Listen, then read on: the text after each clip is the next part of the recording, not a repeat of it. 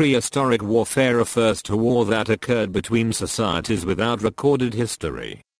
The existence and even the definition of war in humanity's hypothetical state of nature has been a controversial topic in the history of ideas at least, since Thomas Hobbes in Leviathan 1651 argued a war of all against all, a view directly challenged by Jean-Jacques Rousseau in a discourse on inequality 1755 and the social contract. 1762.